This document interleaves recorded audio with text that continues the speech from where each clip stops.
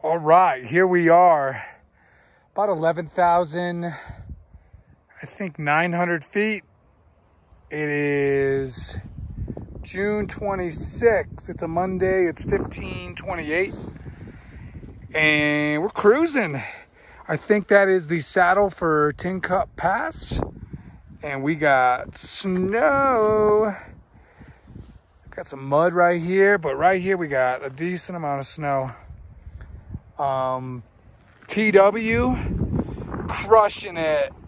It's just an absolute beast. So much fun. Cruising up, taking it easy, taking in the views, smelling the fresh air.